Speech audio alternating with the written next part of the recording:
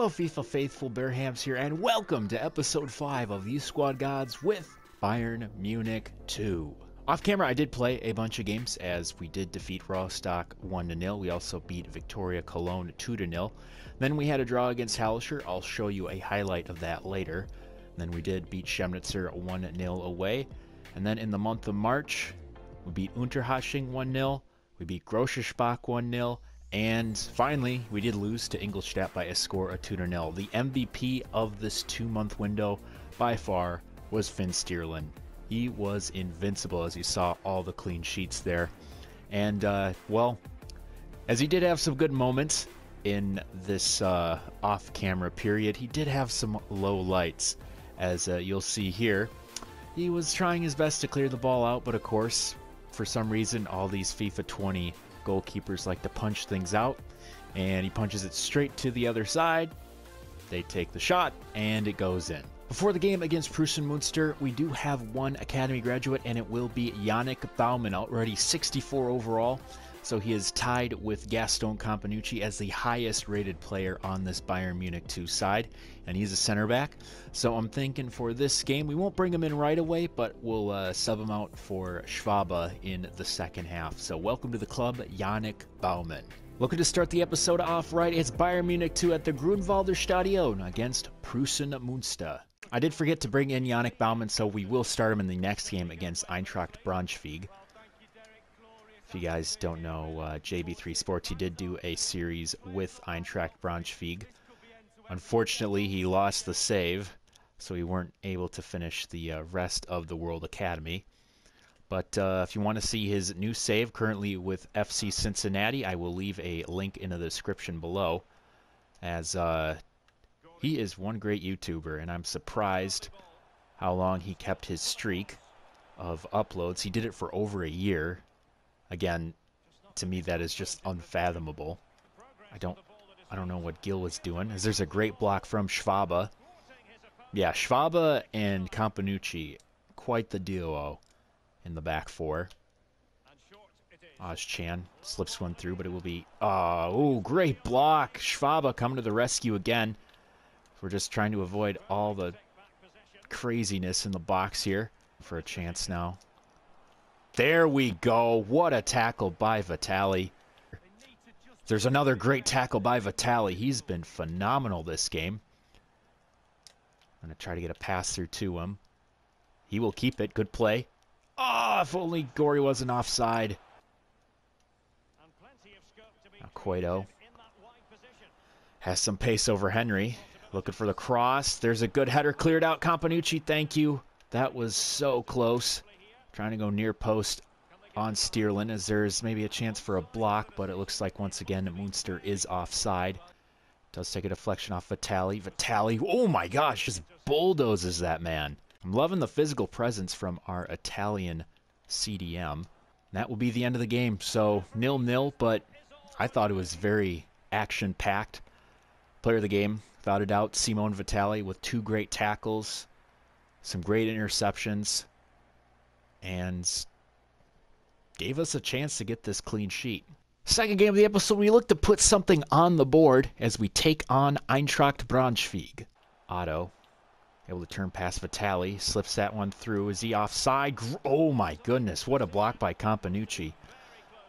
I know he is offside, but once again, the Argentinian coming in clutch just in case if the ref makes the wrong call. So yes, this is the debut for Yannick Baumann, our 64 overall center back straight out of the academy. Gonna try him out at center back. He can also play the midfield position, so we might have to give him a go. There's a chance here. Dudzinski's through. Dudzinski fires, scores straight away. 10 minutes in, Mateusz Dudzinski gets his eighth goal on the season. That was quick. Great running by our cam. Easy passing for Simone Gori. As this is a great start away from home, that's for sure. Uh, a little bit of jostling by Radu. Great block, though, by... That is Gil. Great... Yeah, he's been really good. I've started to train him. Ah, he has dropped in quality in terms of that, as there might be a chance now for Braunschweig. They're opening up our defense quite well. Oh, what a slide by Campanucci. Oh, beauty. What a beautiful play by our center back. Stopping that Braunschweig chance in their tracks. Radu trying to get in his face. Oh, good save by Stierlin. He's going to launch that. And that will be the end of the half. So we do get a goal early, thanks in part to Gori and Dudzinski. What a formidable duo they are. Cross the box. Header. Oh, hits off. Clear it. What type of... what type of clearance was that? We're going to take a look at the replay here. That was ridiculous. I, just clear it. I'm spamming the square button. And all he does is like pat it down with the back of his neck. What what are you doing, Gil? Urga gets that to Ortiz. Dudzinski takes a shot, maybe a chance. Shoot it, shoot it, shoot it! No! Yes! We do get a goal. I don't know why I said no, but we do get a goal, and it is Simon Gori picking up the scraps. That shocked me for sure. Wow, I was just spamming that circle button, hoping Dudzinski could put it in, hoping Campanucci could put it in, but it falls right to the platter of Simone Gori. And what a finish by our Italian striker as he get his 19th goal on the season. And we're back in the lead.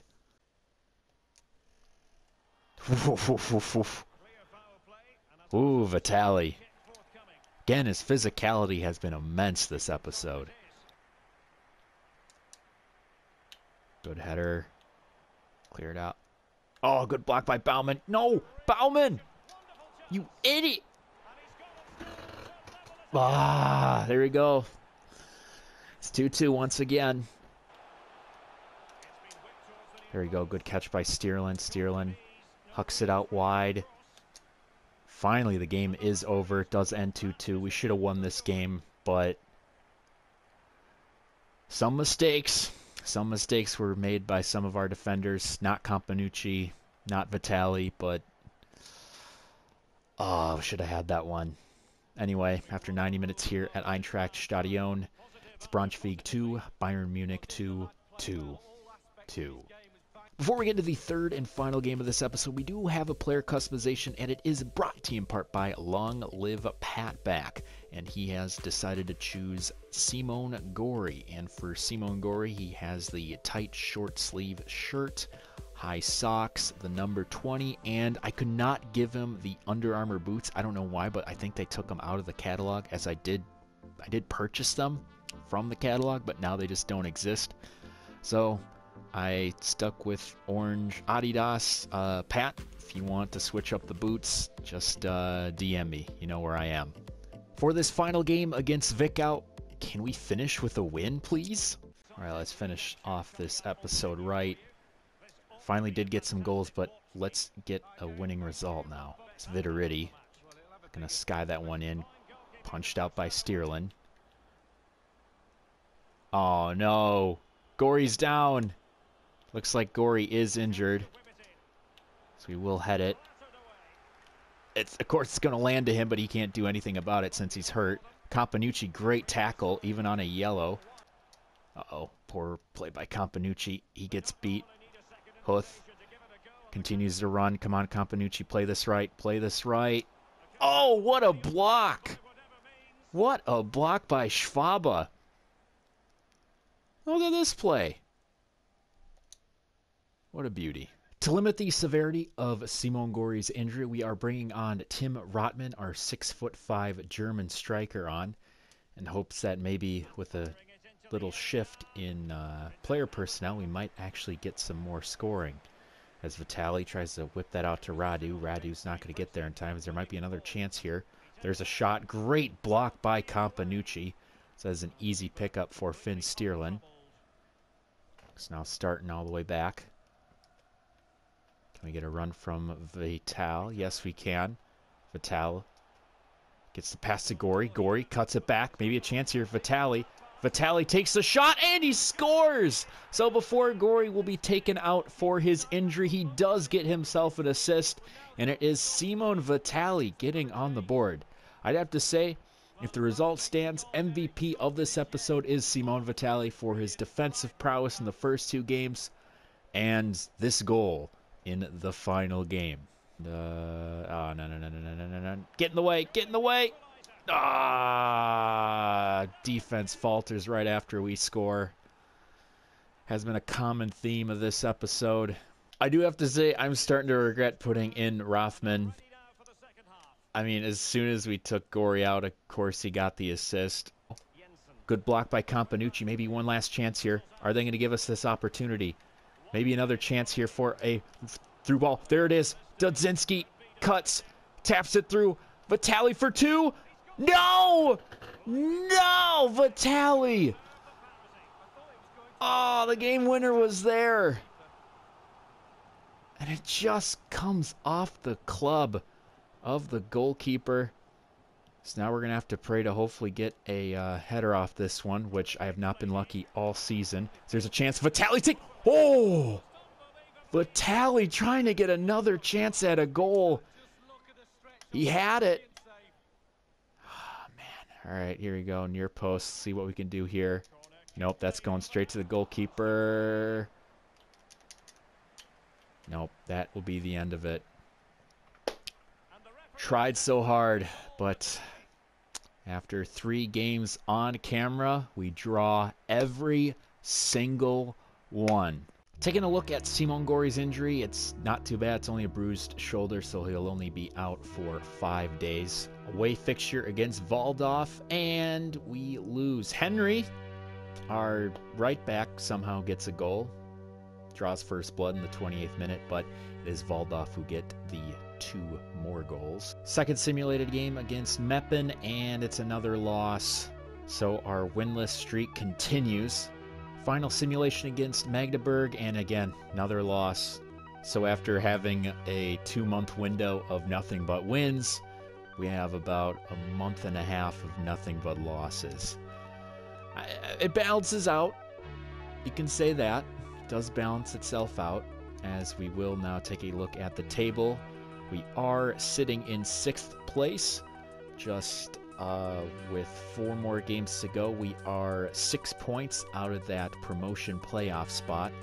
As Unterhaching has 59 points, Hallescher with 58, and KFC with 54. Again, board wanted us to be out of the relegation zone, and we're flirting with promotion, but still Hurts a little that we dropped so low and so fast. So for episode 6, the final episode of season 1, we will start out with a game against 1860 Munich.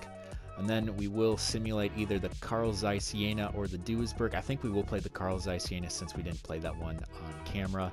Simulate the Duisburg, and then we'll finish it off with a game against Kaiserslautern. So yes, it was uh, a very abysmal episode. We did have some flashes as uh, Simone Vitali, I'd have to say, was player of the episode. And the defense did their best, but sometimes this game can be unforgiving. So, yes, this will be the end of the episode. I hope you enjoyed watching as much as I did playing it. Be sure to like and subscribe, and I will see you next time. This has been BearHamms, and as always, Toodaloo.